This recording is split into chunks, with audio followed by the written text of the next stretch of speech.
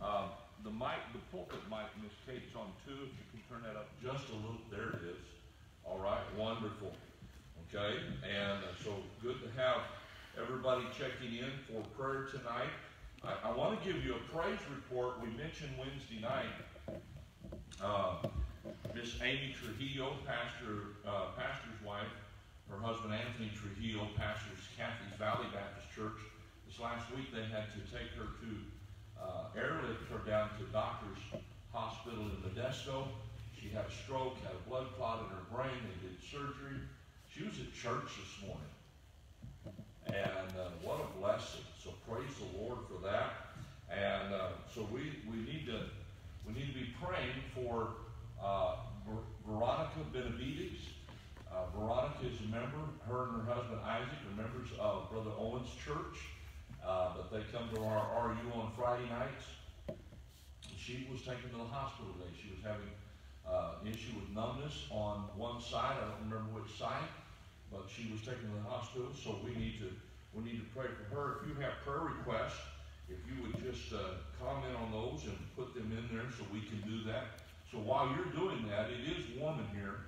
Um, we make Jonathan, turn the switch on over here, not the two dials, that other one is the back fan to get some air flowing in here. It might be too loud. Uh, if they're loud, they're loud, but it's, it's hot in here. We'll do the best we can. can't So, hear.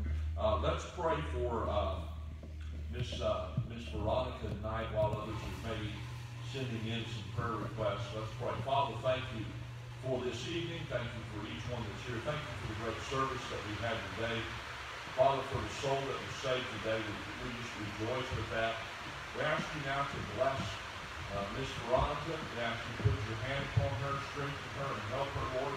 I pray that you meet each need, Lord, whatever the health issues are. Give the doctors wisdom as they care for her, protect her from this coronavirus. Lord, we ask you to work and bless and guide her. In Jesus' name, amen. All right, well, we've got a number of folks checking in, praise the Lord for that.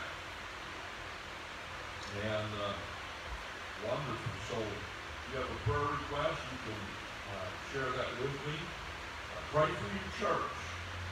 Uh, we are hopefully soon gonna be coming out of driving church, moving into the building here. And so, uh, as a result of that, pray for wisdom on how to do that. Pray for the supplies we need to make sure the environment here is safe. Um, I have a meeting tomorrow night with pastors here in Kings County about opening up. And uh, I know there's a lot of things going on. I know our county supervisors have uh, basically voted to uh, there's some guidelines and some safety things, but they voted to open up the county. And uh, so, um, just pray. I, I'm anxious, but I don't want to run ahead of the system. But I also don't want the system to slow me down. Does that make sense to you? I need balance here. And so pray for me, if you would, in that area. And, uh, okay, are there any other prayer requests tonight?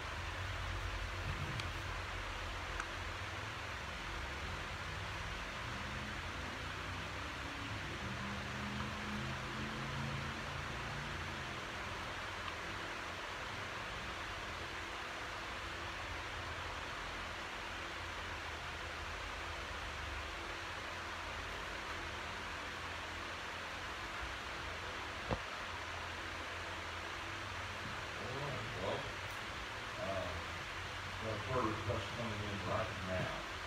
And here.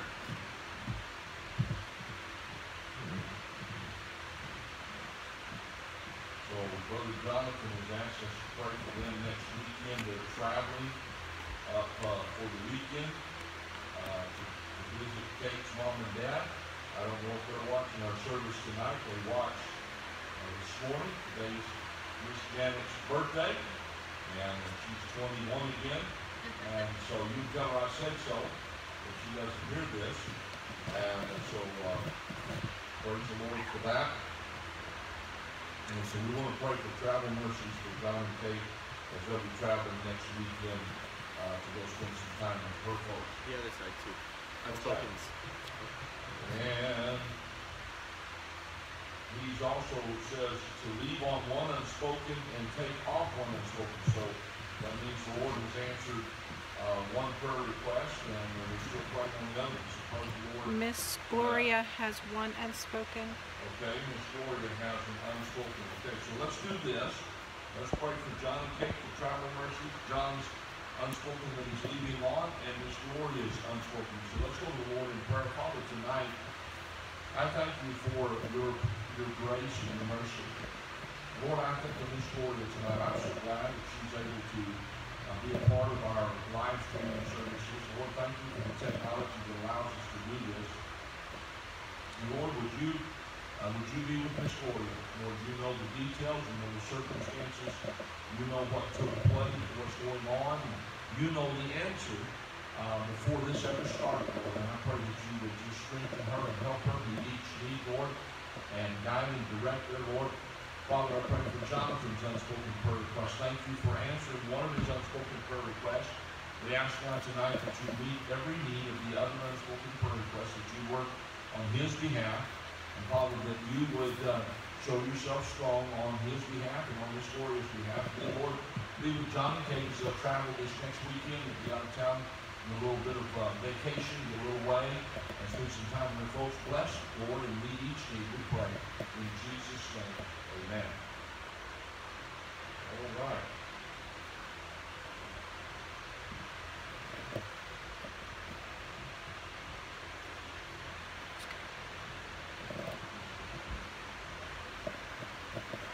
Are there any other?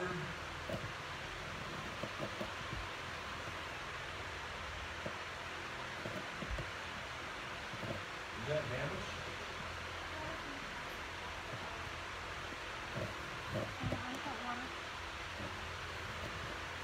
Yeah, John. Alright. Jan has two, so I'll have two.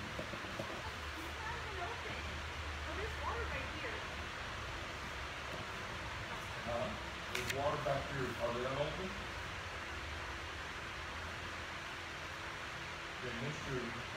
Kenny is from, from Oklahoma, in a moment when we're, uh, that's round of prayer, he wants us to say thank you to Jesus for answering prayers, first all for that. And, uh, Kenny, you and I need to talk on the phone this week, I'm gonna give you a phone call, we need to talk, and I'll, I'll take care of some things there.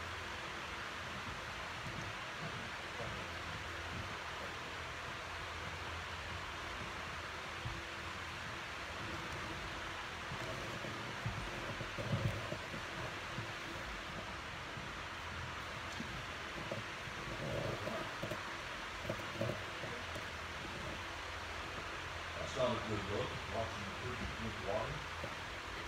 Sing some kid songs or something. Sing some kid song or something.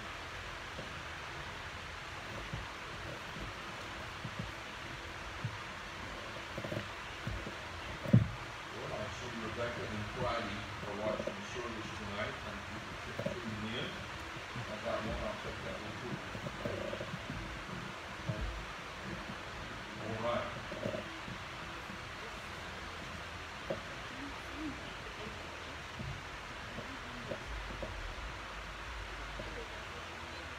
There, is that what you're talking about? They're having problems hearing anything? I just got a text.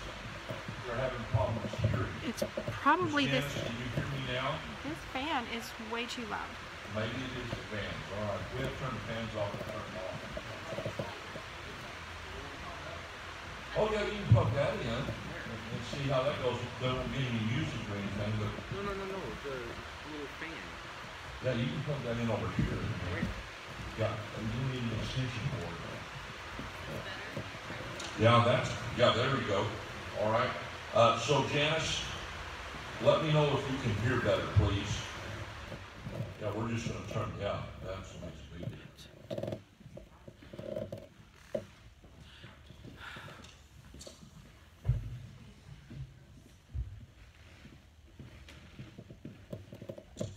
All right.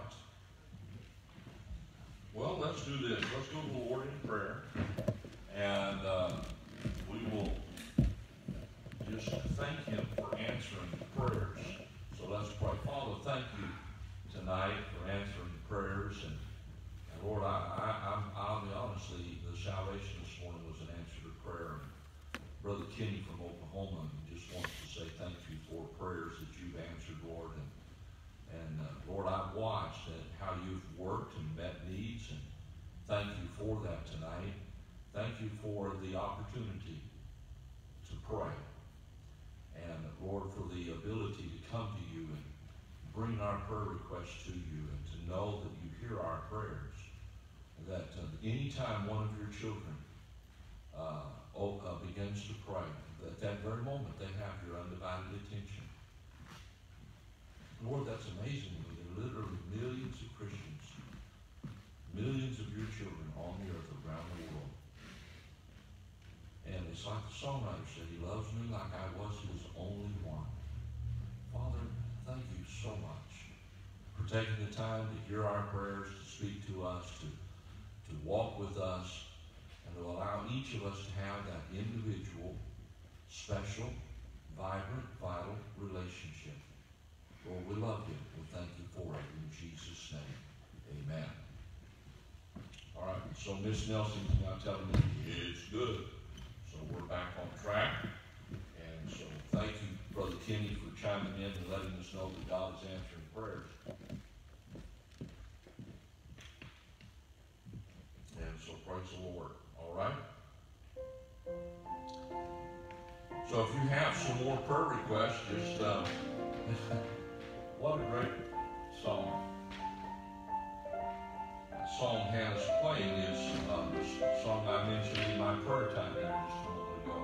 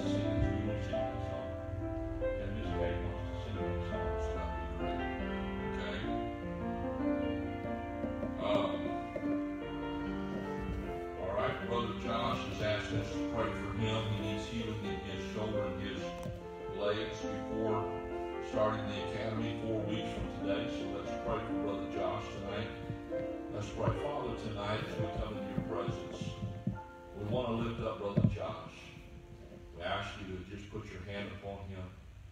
Father, I ask that you would heal his shoulder and his legs. Father, I pray you make it possible.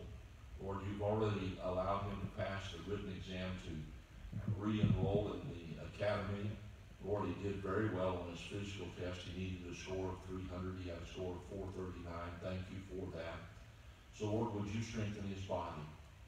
And Lord, uh, just, you know, the Bible tells us to delight thyself in the Lord, and he will give thee the desires of your heart.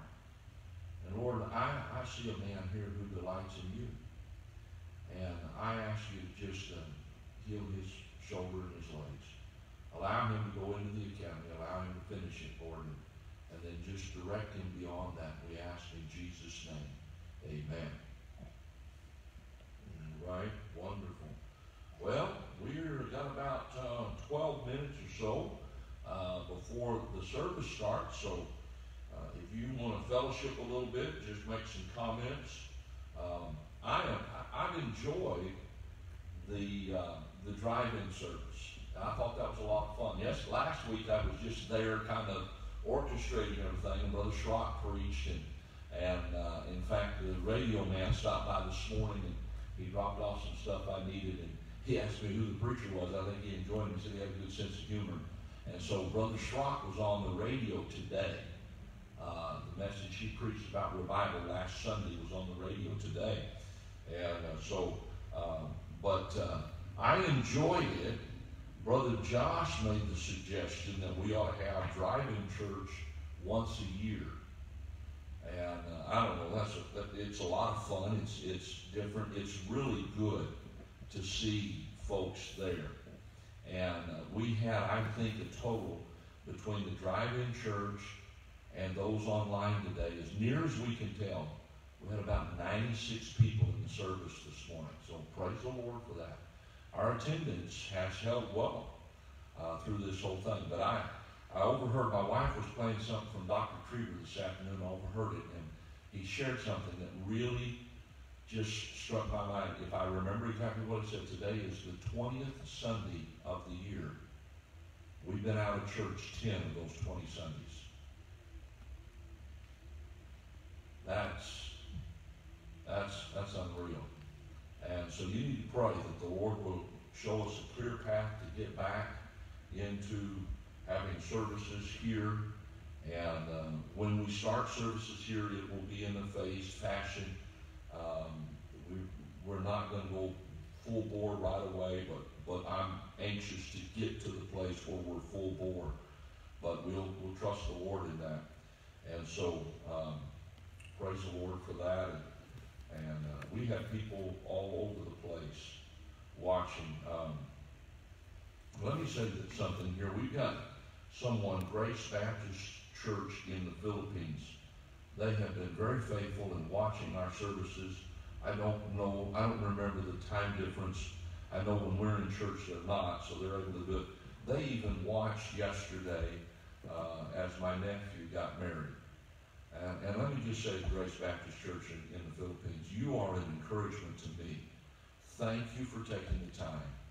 Uh, I know you've got things that you need to do, but thank you for taking the time to watch uh, what's going on, and maybe the Lord will allow us uh, to get together next year. I am planning a trip to uh, the Philippines in March of next year. Uh, the Asia Spiritual Leadership Asia is, gonna, is planned for that time, so I'm making plans to be there. Maybe I can go and be with Grace Baptist Church in the Philippines. That'd be neat. I'd like to do that. And uh, so, uh, but any rate, so it is just, folks, I, I just want you to know, it's been great uh, to do this. We will continue to do uh, face or live streaming on Facebook and on our, our webpage and other things. Uh, we have our new internet service is coming in Thursday morning. They'll be here between 7 and 9 Thursday morning. So we've had a lot of issues with the internet. We're not able to do the phone stream right now, so some of our folks are missing church right now. I, I can't tell you how much that hurts that some of our folks are missing church. We had folks today that visited our church. They attended church in Lemoore, but they don't have the internet. And so they have no way of having church. And when they saw our banners out there that we were having drive-in church, they came to church. Miss Paula told me, she said, we needed to, we need church. We need church. And so I, I praise the Lord for what we've been able to do. Uh, we are still so far behind the curve on this technology. Uh, I will tell you this week, one of the things that we've got to look into, we need a camera to do the, to do everything. We've been using Mrs. King's uh, phone, and, uh, and, and it's, it's the camera for our live stream, and it's starting, the, the battery is going out on that thing. And so we need to, we need to get her a new phone, but we need to get a camera for the church to do this, and, and we need to be able to connect it better so that we're actually feeding sound from the whole system directly to that. And there's a lot of things too. Uh, so just pray for your pastor that I've already lost all of my hair, so we can't worry about that. But pray that I don't lose what little bit of sense I have in getting all of this stuff.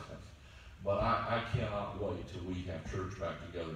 Uh, while we're waiting, we've got quite a few folks on, and hopefully some other folks will come on.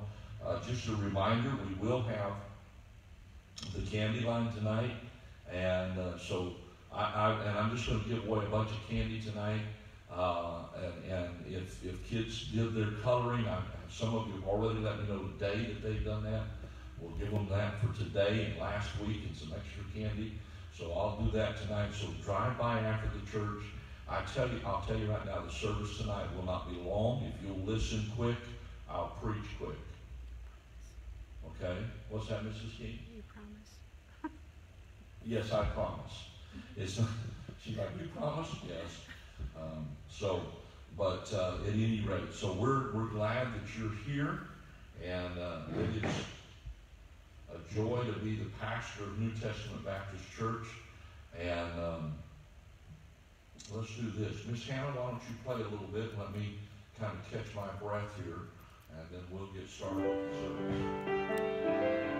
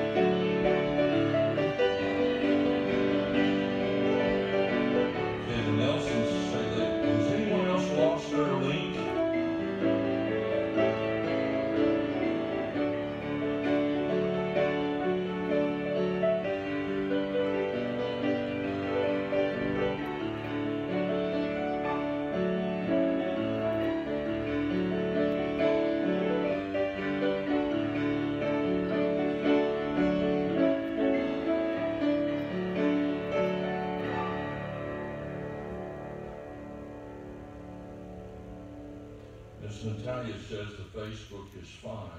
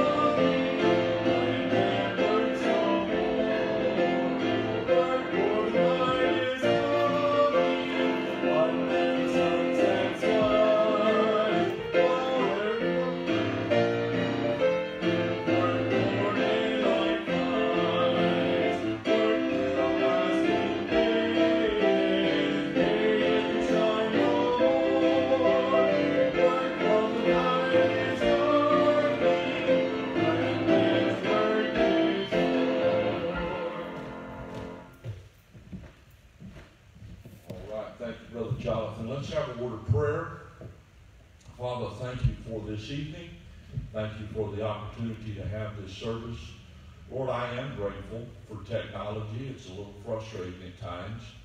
But Lord, the technology has enabled us to at least have some services and connect with people to some degree. But Lord, I do pray and ask for great wisdom to lead our church back into our building, back into services. And I pray that you would help us and give us wisdom, give us that balance that we're going to need, uh, and so that we can move forward in a way that would honor you and in a way that would have a greater impact upon our area with the gospel of Jesus Christ. Bless the remainder of the service tonight, we pray in Jesus' name. Amen. Brother John.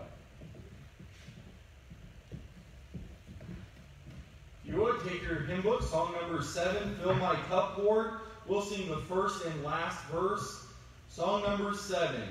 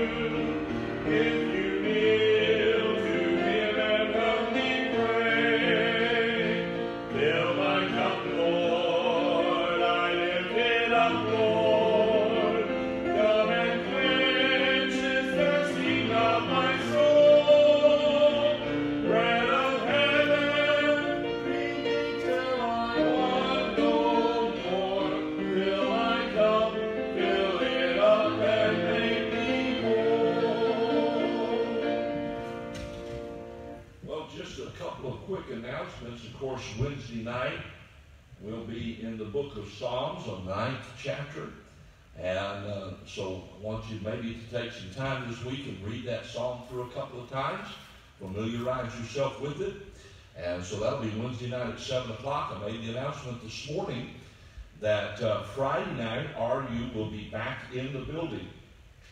And uh, we still may do, we've been doing a the order of the talks out of order. We may still do that, we'll see. Uh, but we'll be here Friday night in the building uh, for RU at 7 o'clock. And then Saturday night at 8 o'clock, men will be back in here for prayer. And men, can I, can I strongly encourage you? I know, please listen to me. I know that it takes a little bit of effort to come on Saturday night at 8 o'clock for prayer meeting. I promise I will not waste your time. But I need you here. I want you here. I want you to be part of the prayer meeting. And uh, I saw something online this week, and I probably won't quote it correctly, but something to the effect that government has said, our state government in particular, has said that churches are not essential. There have been a lot of Christians that have been, through their actions, saying the same thing for a long time. It's easy for the world to say the church is not essential when we act like it's not essential to our life. I hope that attitude will change. I hope that not be said of us. So, men, uh, I, I, I pray that you'll be here Saturday night, at 8 o'clock. Uh, we'll meet in the auditorium so we can spread out and do it right. We need to have prayer together. And I hope that you'll be here for that. And then uh, next Sunday we will have drive-in service at 9:30. And then on the 25th, Monday, the 25th is Memorial, is Memorial Day. It's a week from tomorrow. We will have our Memorial Day picnic out at Kiki Park. And uh, I'll make sure that they'll have that open. Uh, and, and I believe that they will. The county supervisors have opened up the park, uh, the parks and what have you, so we will go. Uh, we'll practice. Uh, we'll do the best we can in practicing social distancing. I want to keep everybody safe. Uh, and so, uh, and then also to Mrs. Nelson and Mrs. Gagne and Miss Joyce, I'll give you a list tomorrow of people to call on wellness checks. And we will continue to do wellness checkups after we start having services here. We just want to do everything we can to keep people safe while we're making the transition back to having services and all of our ministries back on board. So, uh, but uh, so we'll be doing that. So those are the announcements that are coming up. I hope this week I can send out information to you um, via email or other ways of how what we're going to be doing and how soon we'll be getting back into church and what have you. So please pray for me along that line and, and, and just that God will give me wisdom. Let me just say to everybody who's checking in, we've got a number of folks checking in right now. Thank you for checking in. Praise the Lord for that. Uh, I am truly humbled by how faithful our people have been, but I'm also humbled by the number of people from outside of our area that have faithfully been watching our services, and we've been able to minister to them during these times. And I'm humbled by that, and I praise the Lord for that. And so Jonathan is going to come and lead us in another song. Uh, let me just say this. During that song will be offering time. So if you've not yet had an, uh, the opportunity to give, you can go online, newtestamentbaptist.net forward slash giving. You can do it through text, 559 224 1699. 242 1699. I knew when I was saying that my brain was going, You're not right. Uh, but my brain tells me I'm not right all the time. Uh, so, the, again, that number for texting and offering is 559 242 1699. You can also mail it to the church, 1010 West Grangeville Boulevard, Hanford, California, 93230. And I want to say thank you. You've been so good. Folks, we, we took a tremendous offering uh, for the, our evangelists. We had a good love offering for Brother Schrock. And uh, uh, checks will be going out tomorrow for our evangelists just to help them.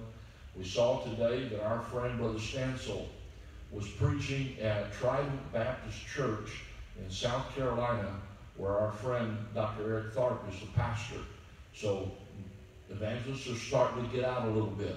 And I'm, I'm grateful for that. And I'm grateful for all that you've done to help us, to help them. And so praise the Lord for that. Jonathan, you come lead us in another song, folks. If you need that time to uh, take care of your offering, please take advantage of that time. Song number 13, The Longer I Serve Him. We'll sing both verses this evening. Song number 1 3.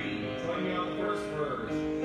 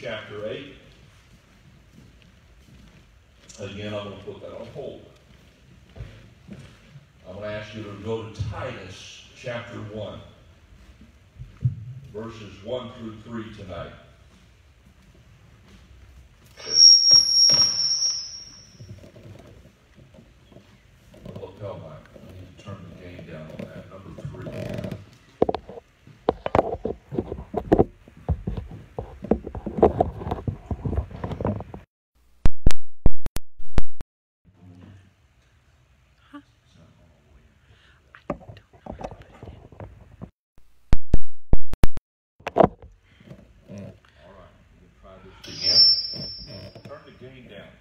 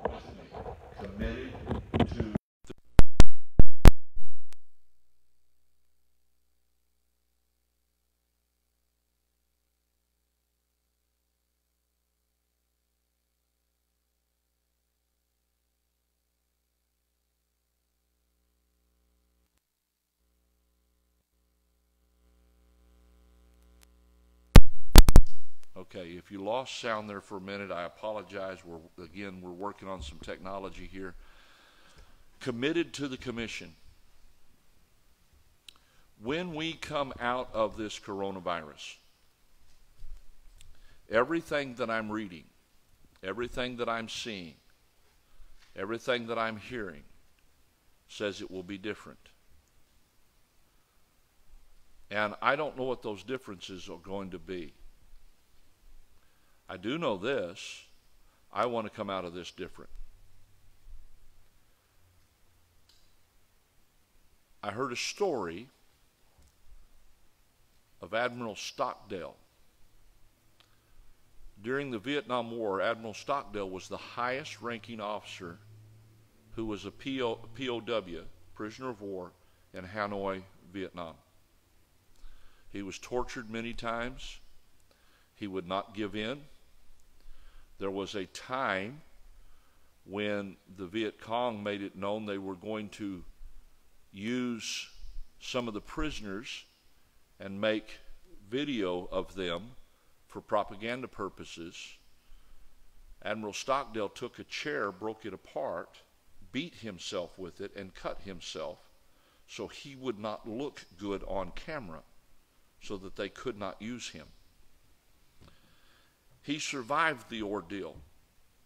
The story that I heard about him related two things that I remember that stuck with me that helped him get through that. Number one, he had faith in the end of the story. He had faith in the end of the story. He knew America would deliver him. He did not know when, he did not set a time frame, but he knew that America would deliver him.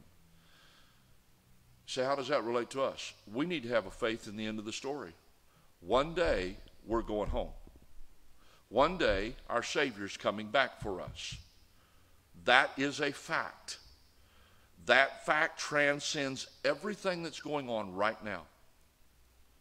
And we need to live in, in that hope. We need to let that shape and mold our life. The fact that we're going home, that needs to, that needs to affect us. We need to have faith in the end of the story. The second thing he did, he did during that time was he decided that being a prisoner of war would be a defining moment in his life. He would later say that he was thankful for being a prisoner of war and what it did for him and how it grew him as a person. And I heard that and I thought, Lord, I want this time to be a defining moment for me. Folks, please listen to me. Look at me for a moment. I want to be a different pastor when I come out of this. I want to be a better pastor. I want to be a better Christian when I come out of this. And I want our church to be different when we come out of this. I want our church to get rid of a sense of entitlement. We just show up to church and things happen. It doesn't just happen. We need more people to be involved helping us with everything that's going on. We need more men to help with setup.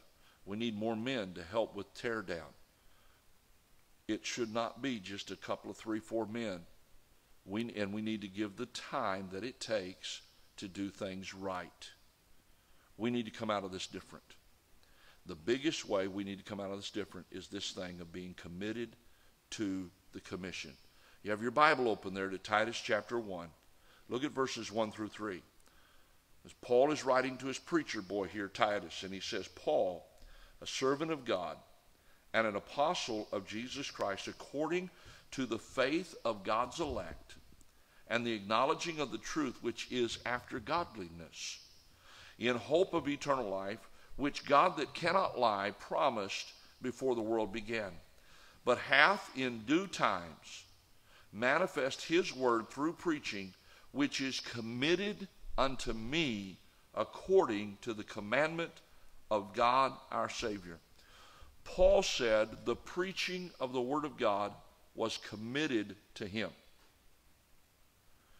We could put it this way the gospel was committed to the Apostle Paul. And in a sense, the Apostle Paul is saying to Titus, now the gospel is committed to you.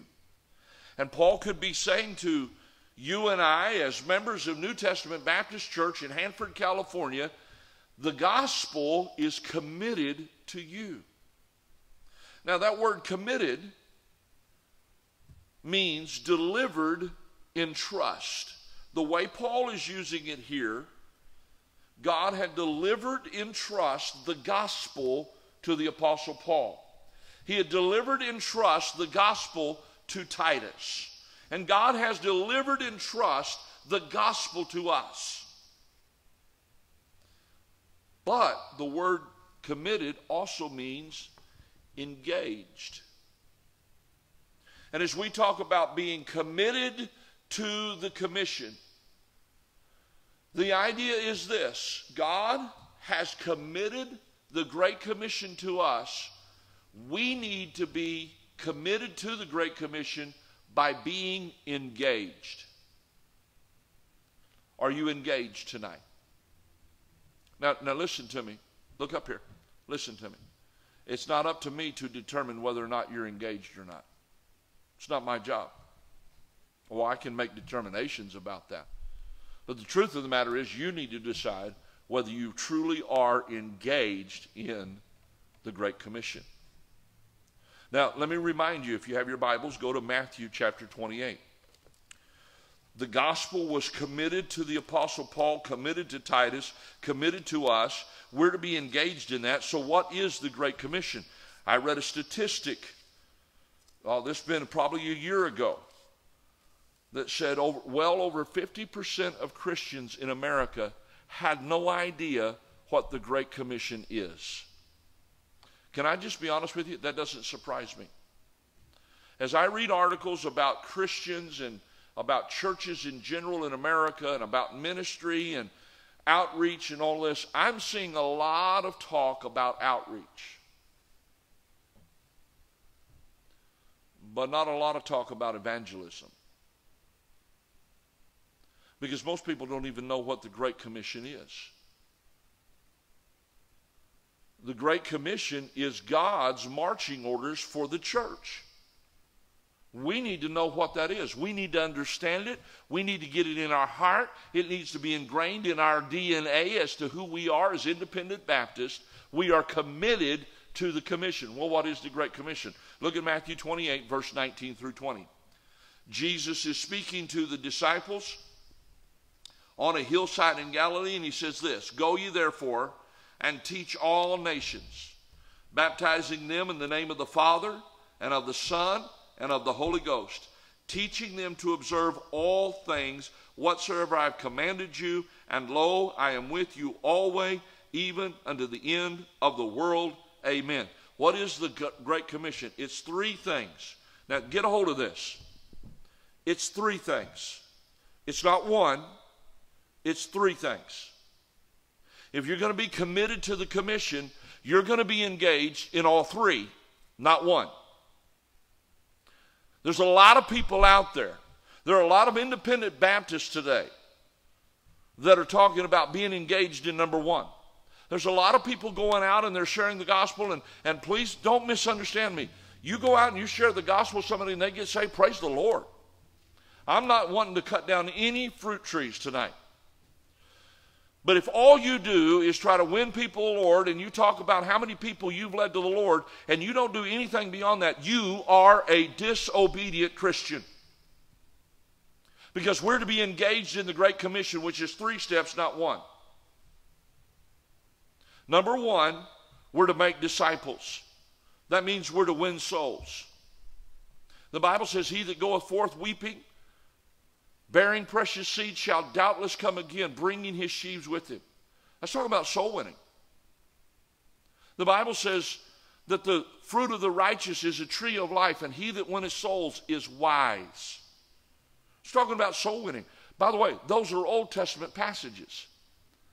Soul winning is not a New Testament idea alone having folks turn from their sin and turn to God has always been the heart of God from the beginning of time and will be that way until the end of time. God desires to see people get saved. And, church member, you look at me and listen to me tonight. I love you, but listen to me. When's the last time you witnessed to somebody? When's the last time you shared the gospel with somebody? When's the last time you gave somebody a tract? And don't let coronavirus be an excuse.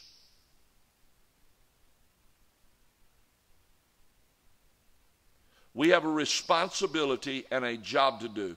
We must, we must share the gospel. Over 3,000 people in the state of California have died from the coronavirus, they're telling us. You say, well, preacher, there's, look, I'm not getting into the politics of all of that. That's the numbers. Whatever the other, other underlying conditions are, I don't, I don't care. 3,000 people that they're tracking have died. That's not counting people that have died for other reasons. That's not counting people that we see in the news that have been killed in drive by shootings.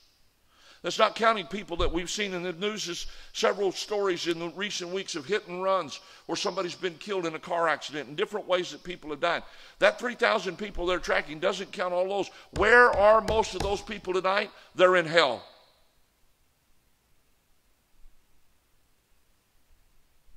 Those 3,000 plus people that have died of coronavirus, and I know the disease is bad. I'm not trying to minimize it. I'm praying that for people that have it, I have many pastors that I know of that have prayed for, and there's still some people that are in hospitals in our country. I'm not trying to minimize the severity of coronavirus, but trust me, an eternal hell is way worse than the coronavirus. And we are letting people all around us die and go to hell because we're too busy with everything in the world and we're not sharing the gospel. We need to be committed to the commission. It's making disciples, it's winning souls. Number two, it's baptizing them. Here's how this works you lead somebody to the Lord. You don't call the preacher. Well, you should. Let me know and I'll help you. But the attitude is not this. And if you're watching tonight, I want you to watch. The attitude should not be, okay, I led that person to the Lord. I told preacher about it. It's his job to get them in church and get them baptized. I'm done. No, you're not, my friend. If you led them to the Lord, it's your job to help them understand what baptism is. It's your job to help them come to church. It's your job to help them get in church and get baptized and get planted in a Bible class. That's your job. If you're going to be engaged in the, in the commission, if you're going to be committed to the commission, it's not just soul winning. You lead somebody Lord, they are your responsibility. They are now under your spiritual care. You need to help them get to the place where they're baptized. The third thing that happens, he says, baptizing them in the name of the Father and of the Son and of the Holy Ghost. And then next, teaching them. That's discipleship. Now, we've got a church that will help you with that. There are those out there that don't think we ought to have Sunday school. Nobody in our church, but there are those that say, well, Sunday school's not in the Bible. Oh, please. Stop it. You're showing your ignorance of scriptures. I can show you scripture after scripture after scripture after scripture where we're to teach and train people. Sunday school is a great ministry to do that.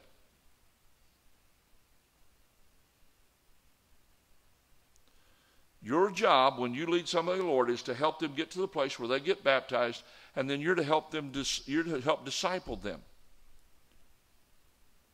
One way you can do that is get them to come to church, get them in a class, get them under a teacher. You can help with that. But we've, we've got to get past this thing of, well, I've done my little bit for the Lord. We, we need to stop doing a little bit for the Lord. We need to do a lot more for the Lord. We need to be committed to the Great Commission. So we've talked about, by way of introduction, what committed means. God has delivered in trust to us the gospel. For us, the word committed then means that we're to be engaged, we're to be involved in winning souls, baptisms, and discipleship. And, when you look at this, Jesus said, teaching them to observe all things whatsoever I've commanded you. All things, that's the whole counsel of God. In Acts chapter 20, and verse 27, Paul said to the leaders of the church at Ephesus, For I have not shunned or backed up to declare unto you all the counsel of God. We, we, we've got to help folks understand this book. That's our job. Well, preacher, I don't know enough. Then study, learn, get involved. We're to teach them all things, and that word to observe means to guard.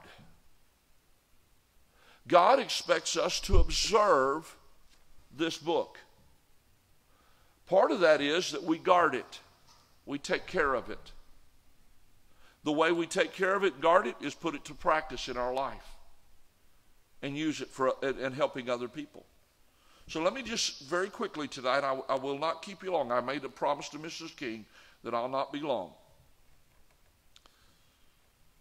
Commitment is three things. It's a matter of three things tonight.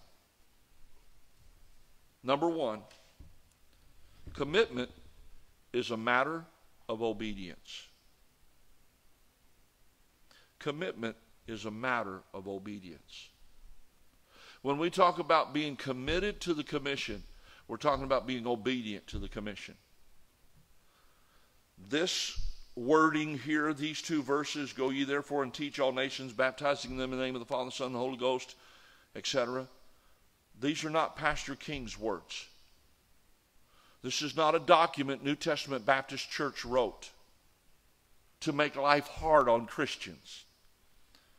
These are the commands of our Savior, Jesus Christ. Now, ask yourself a question. Be honest. Do you really want to disobey Him? Do you really want to be disobedient to your Savior? Is that really the desire of your heart? I hope not. Oh, we might slip up here and there. We might be, because we're human beings, we might not do what we're, everything we're supposed to do. But it should not be in our heart, I'm not going to obey God. So, commitment, being engaged in the Great Commission, is a matter of obedience. Dr. Curtis Hutson made this statement The only alternative to soul winning is disobedience. If you and I do not share the gospel, we're being disobedient. Now, your wheels are turning, aren't they? I can smell burnt rubber through the camera tonight. Some of you are saying, well, the only people I know are at church. That is no excuse. That is no excuse. You need to get out of your little bubble. Well, I don't have any friends. It's, it's not about friends, folks. I don't know if she'll be working tonight or not. But I often stop for gas at a little gas station here on Grangeville and 10th Avenue. It was a Union 76, it's now a Sinclair. I'm glad to see Sinclair here. I grew up seeing that all of my life in Texas, and now they're moving here. We're getting something from Texas in California. That's a good thing. And there's a lady there that I met through going in and getting gas and having to go inside and get my receipt. And I started talking to her. I invited her to church and gave her a track, and I kept going. And one night I asked her, I, I just began to talk to her. And I shared the gospel with her. She bowed her head and she trusted Christ as her Savior. Now I'm working on getting her to church.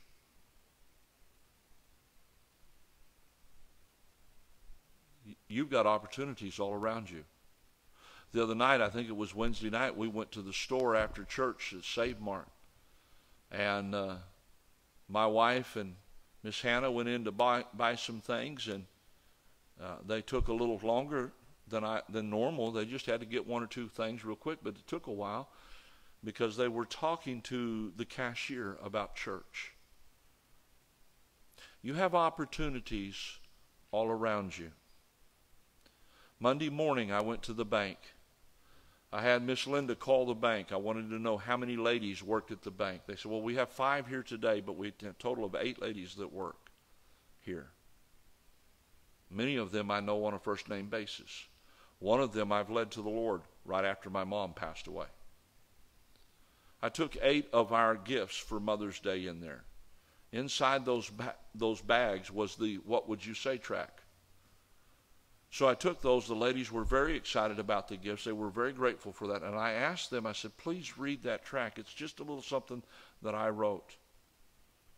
And while I'm standing there and one teller is taking care of all the deposits from the church, the one next to her was reading the track.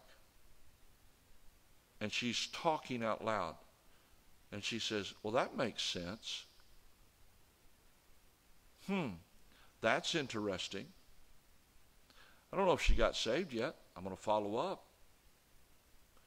But the, the fact of the matter is, folks, the only reason we do not witness is because we're disobedient. That's it. Any reason you pull out and say, here's why I don't, is just simply an excuse. Commitment is a matter of obedience. Number two, commitment is a matter of faith. Commitment is a matter of faith. Oftentimes, obedience and faith go hand in hand. My pastor and I had a discussion about this on the issue of tithing. He was right. Tithing is a matter of obedience. But I was right too. It's also a matter of faith. Can I trust God to take 90% of my money and make it go farther than I can 100%. It is a matter of faith. It is a matter of obedience. And in our Christian life, oftentimes obedience and faith go hand in hand. And it's very hard to separate the one from the other. When you obey God, you are walking by faith. May I remind you, Romans 10 17 says, So then faith cometh by hearing, and hearing by the word of God. When we obey the word of God, we are that at that moment walking by faith. Question Did it take faith to walk through the Red Sea on dry ground? It did, didn't it? But didn't God command them to do that? And when they stepped out by obedience, they were walking by faith. You see, you and I, when we disobey the Word of God, we're undercutting our faith in God. We talked about that this morning. When, we, when we're disobeying God, we're undercutting our faith. We're listening to the 10 spies rather than the two. Commitment is a matter of faith. If I go out, if I share the gospel, if I hand out tracts, I believe God will give us souls. I trust Him for that. I, I folks, you, you got to understand something. God is working on my heart in some. There's areas I need to improve in. I got to. I need to be a better soul winner. I was talking with Brother Schrock about Lancaster Baptist Church, and they may do ministry different than other places do. But I will tell you one thing that has always been the heartbeat of Lancaster Baptist Church souls. After all these years, Dr. Chappell is still concerned about souls. I've read books and things that he's written, testimonies that he's given about soul winning. He'll go buy a car. I, years and years ago, I, I read this story. He went and bought a car. So he, he sat and listened to the salesman, and the salesman made his pitch and all that. He decided to buy the car, and then he said, Now, I've sat and listened to you for a few minutes. Do you have a few minutes to sit and listen to me? And he led the salesman to the Lord. And he's led doctors to the Lord. Who is it that we could witness to? Who's out there? Do we have enough faith in God that if we try to witness to somebody, He'll help us? It's a matter of faith. Do I believe God when He says He wants to see people saved? Do I believe God when He says all through the Bible He wants me to be involved in this? A verse I quote all the time, 2 Peter 3 9. The Lord is not slack concerning his promise, as some men count slackness, but is long suffering to the lost. No, that's not what that verse says. He's long suffering to usward, not willing that any should perish. It's a matter of faith. Do you have enough faith that God will honor your efforts? That God will honor your obedience? I believe He will.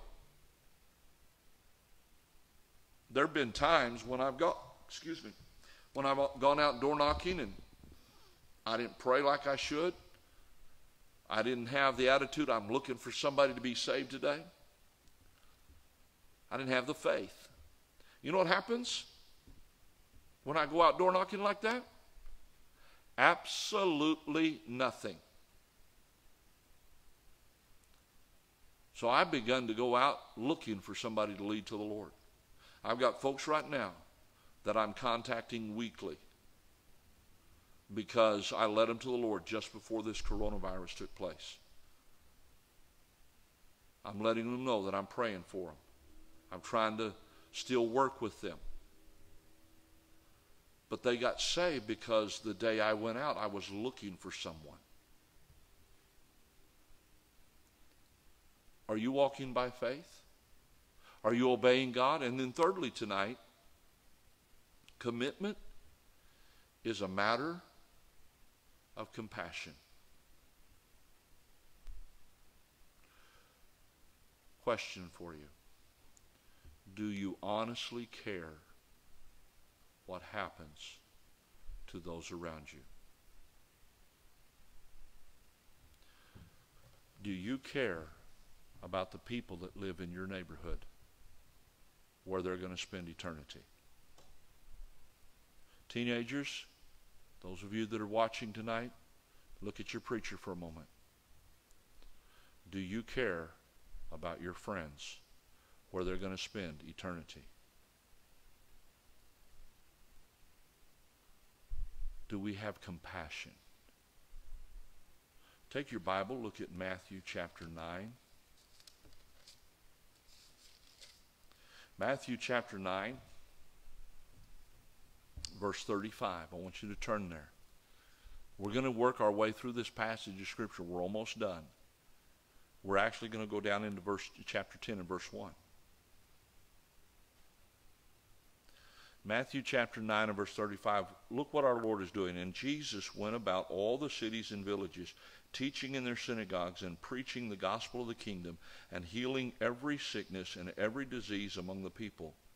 But when he saw the multitude, he was moved with compassion on them because they fainted and were scattered abroad as sheep having no shepherd. Jesus was busy ministering, working with people, and it brought a compassion to his heart. Do you know why many Christians do not have the compassion that they ought to have? Because they're doing nothing in their Christian life. Oh, they may come to church faithfully, they may put their offering in, but they're not involved. They're not engaged in the, in the Great Commission. They're not committed to the commission so they don't have the compassion that they ought to have. Jesus was actively involved. He was going around to villages and, and cities and preaching and teaching. And the Bible says when he saw the multitude, he was moved with compassion. Watch what he does. Verse 37. Then saith he unto his disciples, The harvest truly is plenteous. Hmm. What does he mean? Look, listen, listen. Here's what he's saying. There's a lot of people that can be reached in Hanford. There's a lot of people that can be saved in Hanford. The harvest truly is plenteous. But the laborers are few. So what do we do? He says, Pray ye therefore the Lord of the harvest that he will send forth laborers into his harvest. Okay, preacher, I get it. I know how I can be engaged. I, I understand what you're saying. I can have compassion. And what I'm going to do is I'm just going to pray that God will send somebody. Well, that's what He commanded us to do, right? But hang on. Watch verse 1 of chapter 10. And when he had called unto him his twelve disciples, he gave them power against unclean spirits to cast out to cast them out and to heal all manner of sickness and all manner of disease and he names them and guess what he does he sends them out he called his disciples together and said, Look, the harvest truly is plenteous. There are not enough laborers. Pray ye the Lord of the harvest that he'll send forth laborers in the field. Now go. Now go. That's really what's happening here. Read the rest of chapter 10. You'll see that's what he did. He sent them out to preach. We need to have compassion. We need to have compassion on people. How many of your family members are not saved? When's the last time you witnessed to them? It'll break your heart. Just recently, I tried to witness to a family member of mine. They shut it down right away. Instantly. It'll break your heart. But you can't stop. You can't quit. I have a question for you tonight, church. Are you committed to the commission? That needs to be the heartbeat of New Testament Baptist Church. We talk about building lives that thrive on the Word of God. It starts with the Great Commission. That's the heartbeat of our church. Let's pray. Heavenly Father, tonight, it is my desire and my prayer that I would be committed to the commission in a greater way than I ever have been.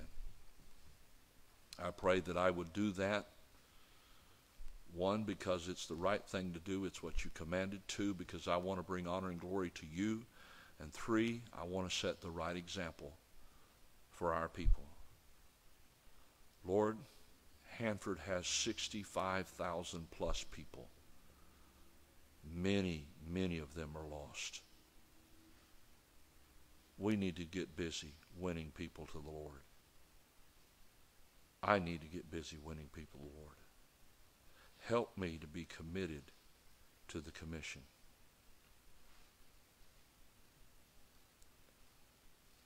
I ask it in Jesus' name. Our heads are bowed, our eyes are closed. You're sitting there tonight. I hope you're thinking about the message. I hope that you're maybe taking this morning's message and tonight's message and kind of putting the ideas together.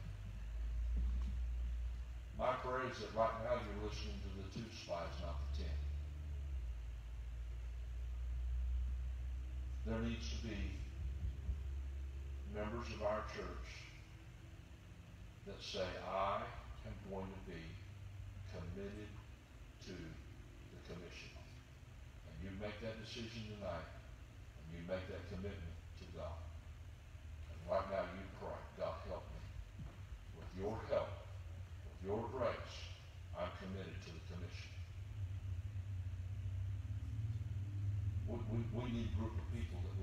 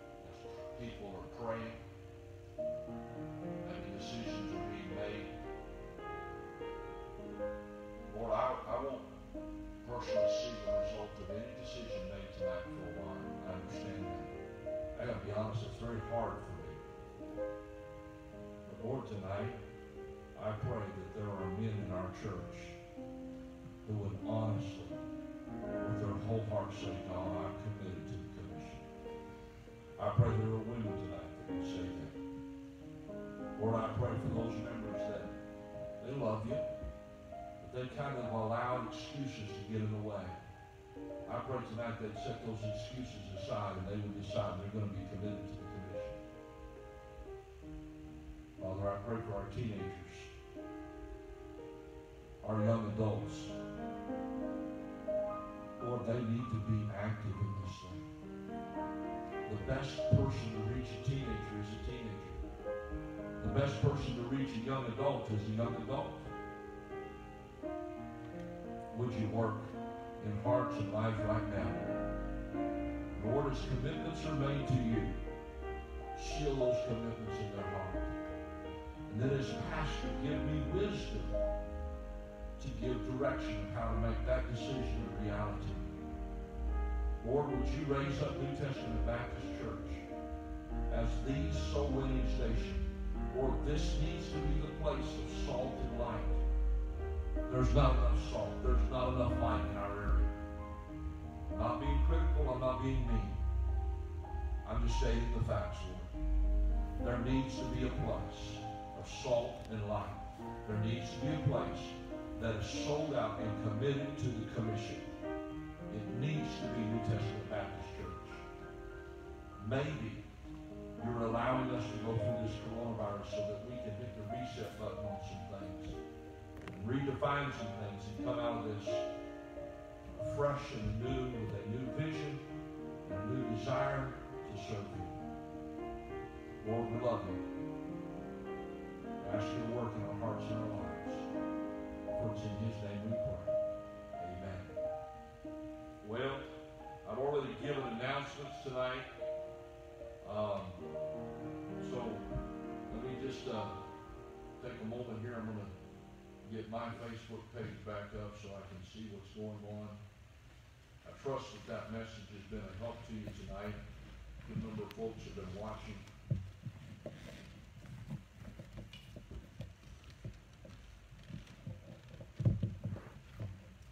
Okay, Mark, Brother Marcus, I, I'm, get- okay, I can get you another bottle. Uh, he- He's, he's got one full already, he needs another one. So praise the Lord. Uh, just text me and we'll work out a time to get together, I'll bring one by, we'll do something A lot of folks are commenting tonight.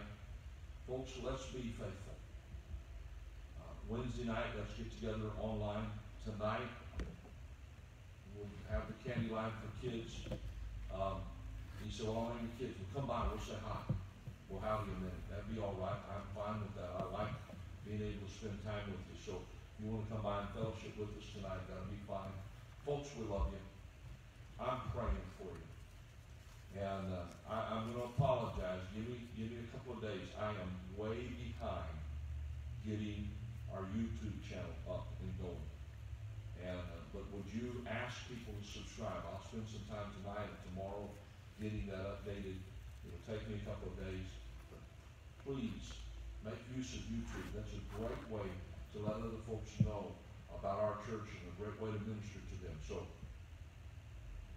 uh, Kate is, is up, they'd like to see the teens. So teens, if you wanna come by with mom and dad, I will say this, we do not have the details yet, but the youth conference is on, but it's gonna be a virtual youth conference. So we're working on some plans where we get the teens together here, to have a good time and be able to watch the virtual youth conference here in our auditorium. That'll be the third week of June, so we've got time to get that all worked out. So I'm excited about that. I don't know any more details than that, but we'll let you know. And uh, so, uh, the teenagers, if you wanna come by tonight, uh, you can do that and just swing by. Anybody else that wants to just come by and take a minute and, and, uh, visit with us, we'd be glad to do that. I love you. I, I mean it when I say I get to pastor the greatest church in America. Thank you so much for the privilege of being your pastor. But we're gonna close the service tonight. There's gonna be a little bit of music playing for a little bit back there. Praise the Lord.